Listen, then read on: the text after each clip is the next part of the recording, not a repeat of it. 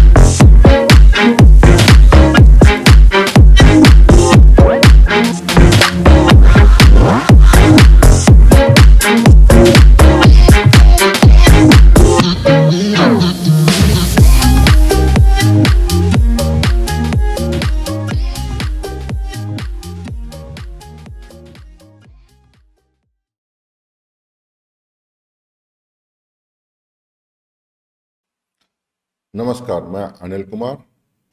आज की फोटोग्राफी और एडिटिंग क्लास में हम देखेंगे कि किस तरह से कटलरी की फोटोग्राफी होती है। कटलरी की फोटोग्राफी करने के लिए हमारे स्टूडेंट तरुण ने शूट किया है। हमने सिंगल लाइट को यूज़ किया है और 45 डिग्री पे सॉफ्ट बॉक्स को लगाकर हमने उसका रिफ्लेक्शन लिया है कटलरी में। कटलरी की फोटोग्राफी की रीडिंग आप देख रहे हैं, जो हमने दिखाई है।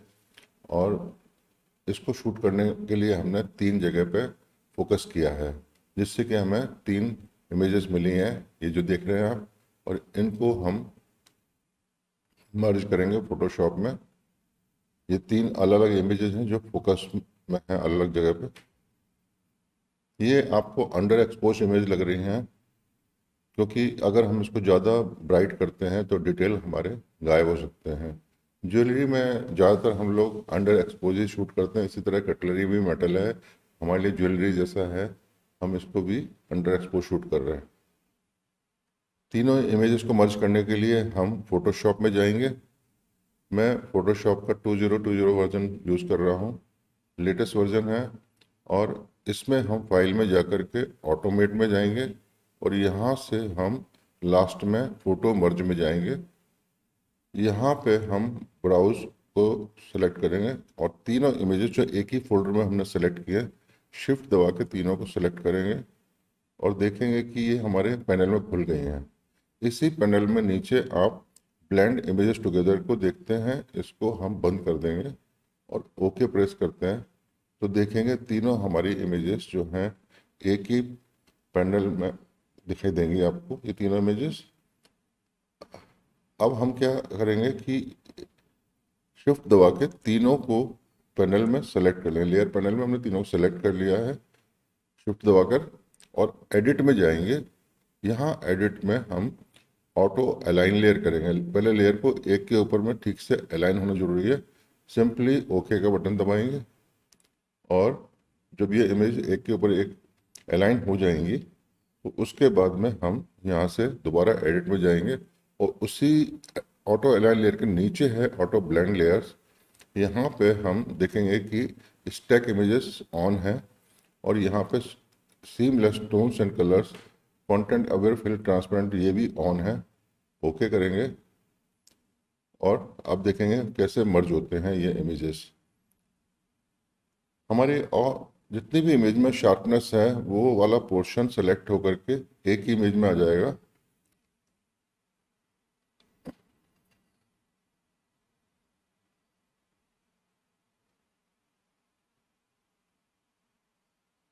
ये देखिए, अब ये हमारे जितने इमेज में जहाँ जहाँ शार्पनेस थी, इन्होंने इसको मर्ज करके एक ही इमेज में बना दिया है। ये तीन लेयर हमारे काम की नहीं है। हम सिंपली ऊपर की लेयर से अब एडिटिंग शुरू करेंगे। फ़ोटो मर्ज होने के बाद में अब हमारे पास में एडिटिंग करने का काम शुरू होता है। सबसे पहले हम क्या करेंगे कि कंट्रोल कमांड एल प्रेस करेंगे और इमेज को ब्राइट करेंगे। ये जो माउंटेन दिख रहा है, इसके ठीक नीचे जो यहाँ से स्टार्ट हो रहा है यहाँ तक लेके आएँगे। डार्क साइड से थोड़ा सा और ओके करेंगे। This is first step second step ये है कि इमेज को हम यहाँ पे शार्प करेंगे। शार्पन अनशार्प मास्क और अनशार्प मास्क में जाके हंड्रेड अमाउंट और फाइव रेडियस रखा है। ये इमेज की साइज़ के हिसाब से होता है, क्योंकि इमेज की साइज़ बड़ी है, इसलिए ये हमने वैल्यू रखी है। अगर छोटी इमेज होगी तो कम वैल्यू रखनी पड़ेगी। नेक्स्ट हमारे पास में जॉब है कि हम इसको इमेज को ब्लैक एंड वाइट में कन्वर्ट करें और ये गोल्ड है उसमें रिवील करें। पहले हम कंट्रोल जे करेंगे और उसके बाद में इमेज में जाएँगे ऑटोमेट और एडजस्टमेंट में जा कर के हम यहाँ पर इसको ब्लैक एंड वाइट का सेलेक्ट करेंगे। रेड को हम थोड़ा सा एडजस्ट करेंगे येलो को एडजस्ट करेंगे और इमेज हमारी ब्राइट हो जाती है। अब हमारा काम है गोल्ड को रिवील करना जो हमारी नीचे की लेयर में है।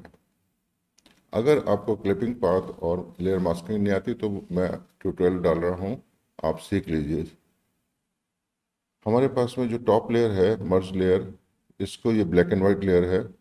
मैं यहाँ पर नाम नहीं लिख रहा हूँ, क्योंकि इसमें बहुत टाइम लगता है कि ये ब्लैक एंड वाइट है, ये कलर लेयर है। तो आप देखते जाइए और वैसे ही रिपीट कीजिए। हम यहाँ पे रिवील ऑल मास्क नीचे से भी लगा सकते हैं और लेयर में जाके लेयर मास्क में जाके भी रिवील ऑल मास्क लगा सकते हैं। वाइट मास्क है। तो ये मास्किंग मैंने सिखाया है, वह देख लीजिए आप। ब्रश लेंगे। ब्रश के हम हार्डनेस को 100 परसेंट रखेंगे। Opacity 100 percent flow 100 percent reveal करना शुरू करेंगे और हम यहाँ पे जो गोल्ड कलर है, इसको रिवील करेंगे।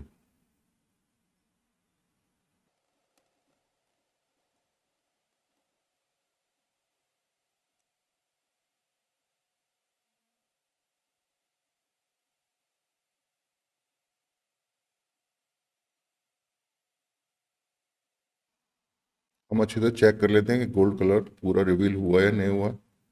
उसके बाद हम इसको मर्ज कर देंगे लेयर को। ये हमने देख लिया कि गोल्ड कलर हमने पूरा रिवील कर लिया है, जो नीचे की लेयर में है। अब हम दोनों कंट्रोल ई प्रेस करके इमेज को मर्ज कर दिया है हमने नीचे की लेयर से। हमारे पास में ये इमेज आ चुकी हैं। ब्लैक एंड वाइट होकर के फिर इसको हमने शार्प भी कर लिया है लेवल्स भी चेंज कर लिया नेक्स्ट स्टेप बचता है कि हम इसको, जो शेडो है, ये शेडो नहीं एक्चुअली रिफ्लेक्शन है और जो हमारी कटलरी है, इसको हम वाइट बैकग्राउंड के लिए पुरानी बैकग्राउंड से अलग करेंगे। तो क्लिपिंग पाथ बनाएँगे पेन टूल लेकर के। इलाज करेंगे इमेज को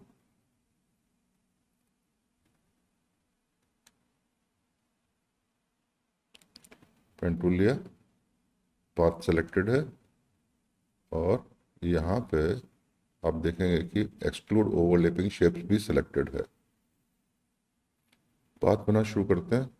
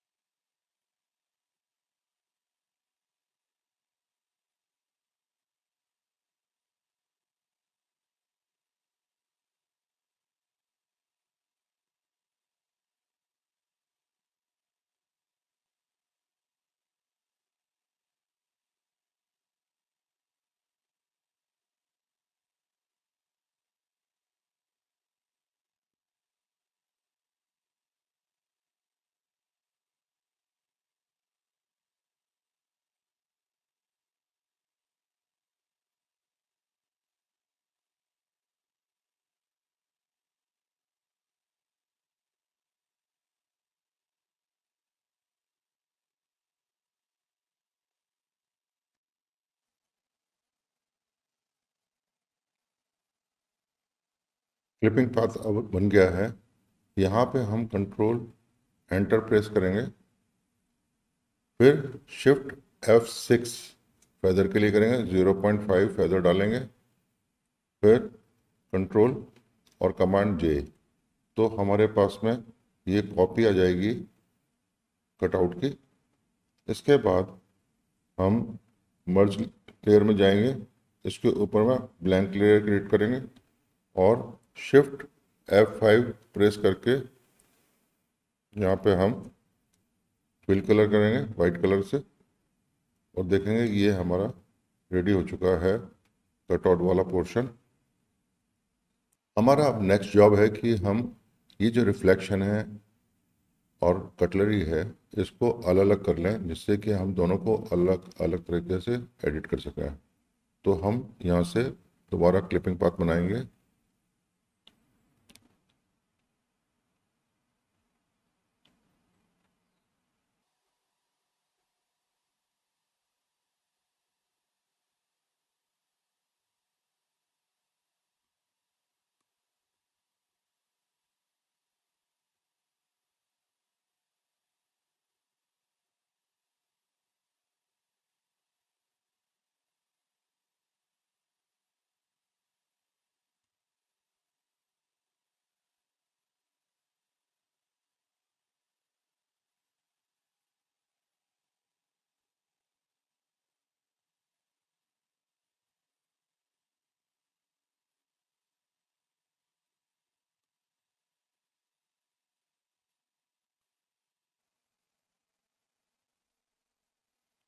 कंट्रोल एंटर यहाँ पे हम कंट्रोल जे करेंगे और देखेंगे कि कटलरी अलग हो चुकी है। परंतु अगर हम ऊपर की लेयर बंद करेंगे तो देखेंगे ये अलग नहीं है क्योंकि नीचे रिफ्लेक्शन के साथ जुड़ी हुई है। लेयर थ्री को हम कंट्रोल और आइकन पर सेलेक्ट करेंगे तो हमारी कटलरी सेलेक्टेड है अब। यहाँ पे हम नीचे के लेयर लेयर वन में जाएँगे। और डिलीट कर देंगे अब देखेंगे कि कटलरी हमारे ऊपर अलग हो गई है और रिफ्लेक्शन अलग है। अब हम दोनों को अलग अलग तरीके से एडिट कर सकते हैं। अब हमारा नेक्स्ट स्टेप है कि मेटल को फिनिश किया जाए। मेटल को फिनिश करने के लिए हमें अलग अलग सेक्शन को एडिट करना होगा। एक साथ में हम एडिट नहीं कर सकते हैं। पहले हम ट्राई करते हैं कि किसको कितना ब्राइट कर सकते हैं। लेवल्स खोलते हैं और यहाँ देखते हैं कि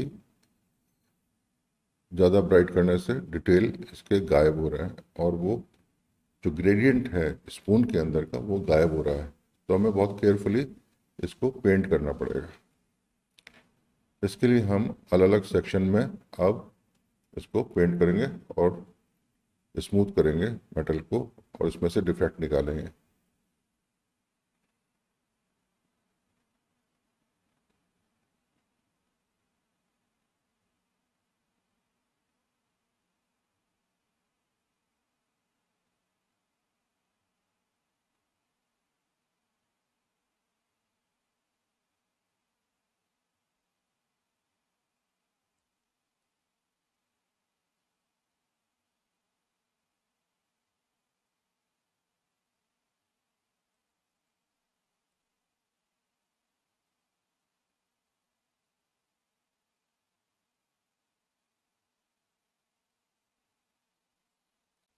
कंट्रोल एंटर ब्रश लेंगे।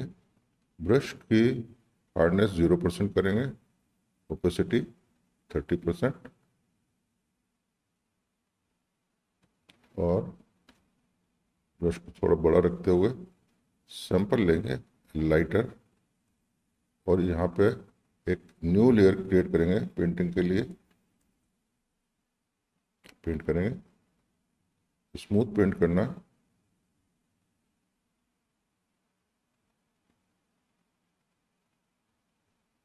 गया अब हम क्या करेंगे कि एक थोड़ा सा ग्रेडियंट वाला पोर्शन से लेंगे। यहाँ पे आप थोड़ा सा ध्यान दीजिए कि मैंने यहाँ पे एक क्लिक करूँगा और शिफ्ट दबा के इधर क्लिक करूँगा तो ये एक लाइन खींच जाती है जो ग्रे की है। तो यहाँ पे ये भी मैं आपको ट्यूटोरियल में दिखाऊँगा पहले ब्रश कि। ये कैसे होता है? पर अभी आप देख लीजिए कि मैंने थोड़ा सा इस पर ग्रे डाला है। एक बार दोबारा करके दिखा देता हूँ कि एक बार क्लिक किया। एक बार क्लिक किया और शिफ्ट दबा के जब दोबारा क्लिक करता हूँ तो वो लाइन खिंच जाती है। कंट्रोल डी करता हूँ। अब की बार हम यहाँ इस मेटल को, हैंडल को फिनिश करेंगे।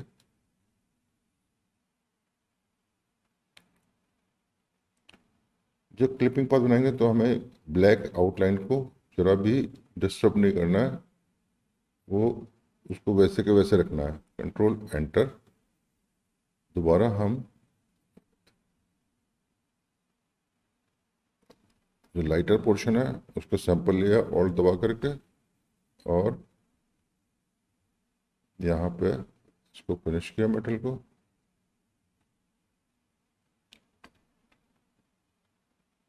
फिर ग्रे कलर का सैंपल लिया यहाँ से ऑल दबा के, और अब दोबारा, देखिए, अगर हम पेंट इसको ऐसे ही वाइट कर देंगे तो फिर तो ये, इसमें कोई ग्रेडियंट नहीं होगा, ये सिंपली एक फ्लैट हो जाएगा। तो यहाँ ब्रश को छोटा रखते हुए मैंने एक क्लिक किया है, और जब दोबारा करूँगा तो शिफ्ट दबा के करूँगा, और यहाँ पे ये, इसको ग्रेट कलर का सैम्प एक कलर डाल देगा। यहाँ से हमने दोबारा सैंपल ले लेते हैं, यहाँ से भी ले सकते हैं। और तो हल्का सा उसमें ग्रे का ग्रेडियंट आ जाता है। नेक्स्ट आता है कि जो साइड है, इसको भी हम थोड़ा सा फिनिश कर लें।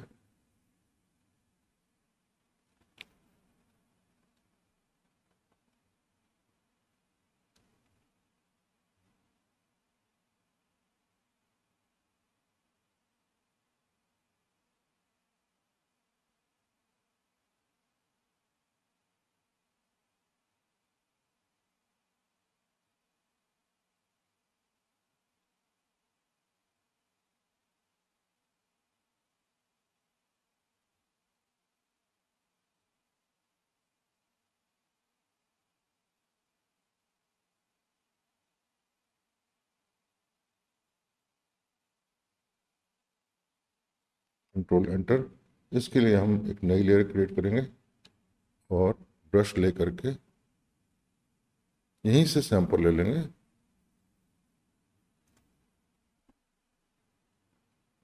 और दबा के और पेंट करेंगे।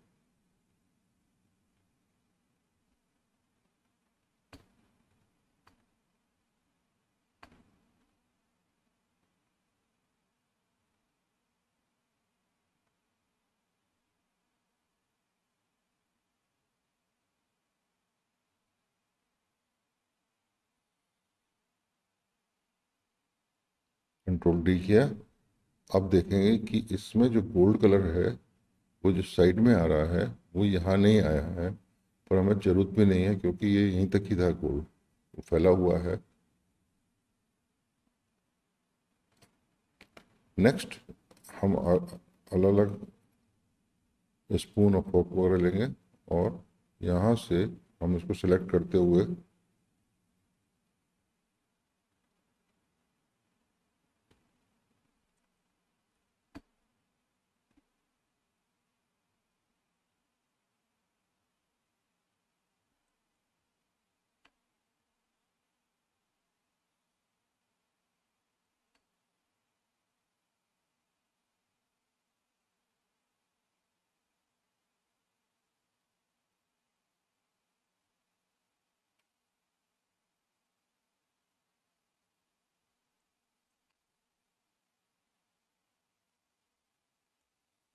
नई लेयर क्रिएट करेंगे। यहाँ पे ध्यान देने की बात यह है कि इसको किस तरह से पेंट किया जाए कि जिससे कि ये डेप्थ दिखाई दे कि इसमें डिप्रेशन है, अंदर गहराई है तो हमें पेंट थोड़ा सावधानी से करना है कि हाईलाइट को भी मेंटेन करना है शेडो को भी मेंटेन करना है। तो हम पहले क्या करेंगे कि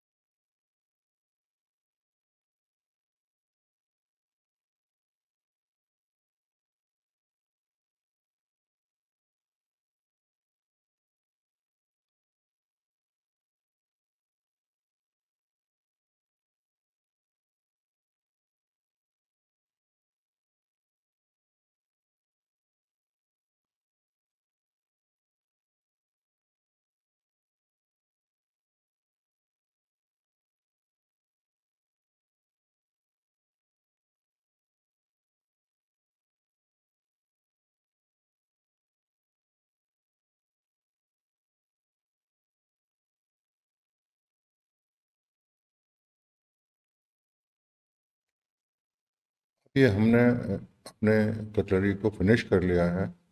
नेक्स्ट हमारा एक ऑब्जेक्टिव है कि हम जो रिफ्लेक्शन है, उसको भी ठीक करें। तो रिफ्लेक्शन को ठीक करने के लिए हम, पहले तो इसमें से जितने हमारे स्पॉट्स वगैरह हैं, उसको स्पॉट हीलिंग ब्रश से निकाल देते हैं।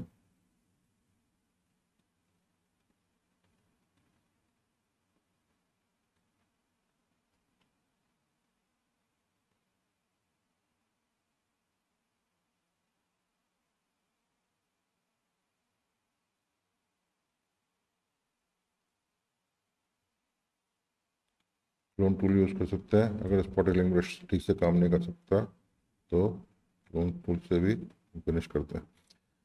अच्छा अब ये हमारा जो रिफ्लेक्शन है, इसको ब्राइट करना है। ब्राइट करने के लिए एक और तरीका है कंट्रोल जे करेंगे और नॉर्मल में जा कर के स्क्रीन हम यूज़ करेंगे लाइट हो गया ये। और कंट्रोल ई कर देंगे। देन इसके बाद में इसको और ब्राइट करना है। तो लेवल्स में जा कर के यहाँ से हम थोड़ा ब्राइट कर लेंगे ज़्यादा ब्राइट नहीं करना, बस इतना ही हमें रखना अच्छा अब ये जो ऊपर के जितने लेयर्स में हमने इसको अलग अलग एडिट किया था, उसको हम मर्ज कर लेते हैं।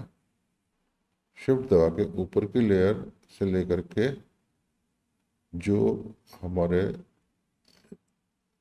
कटलरी तक की लेयर्स थी उसको कंट्रोल ई करके मर्ज किया है। और यहाँ पे हम देखेंगे तो ये हमारे पास में है। अब हम इसको चाहें तो ब्राइटन ज़्यादा कर सकते हैं। कंट्रोल एल देखें कितना तक ब्राइट कर सकते हैं।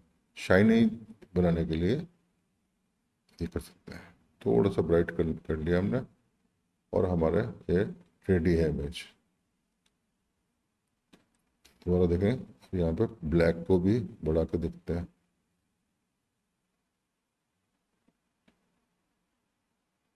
जैसे आपको बताया था कि शाइनी ज्वेलरी के लिए आवश्यक है कि ब्लैक भी हो और ब्राइटर साइड भी हो। फाइनल स्टेप एक बाकी है, वो है इसके ऊपर आउटलाइन क्रिएट कर दें तो जो जहाँ पे कट कट हो रहा है, निकल रहा है, इसको हम एक डेफिनेशन दे सकते हैं।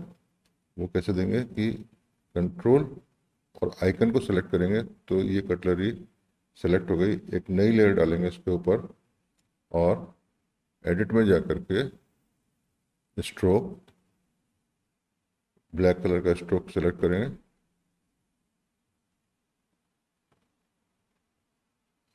दो पिक्सल का हमने स्ट्रोक डाला है। कंट्रोल डी किया तो ये आउटलाइन क्रिएट हुई है।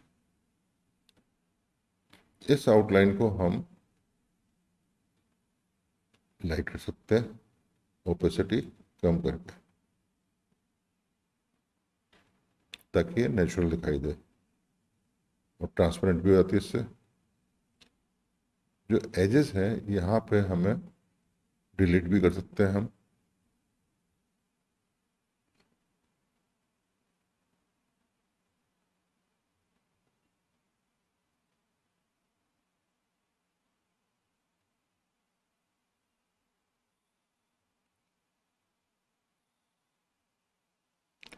अब आप अपने साइज़ के हिसाब से इसको बना सकते हैं इमेजेस को।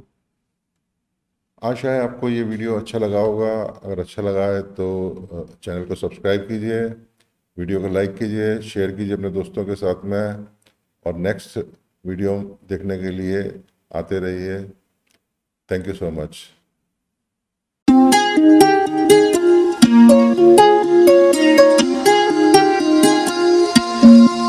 Oh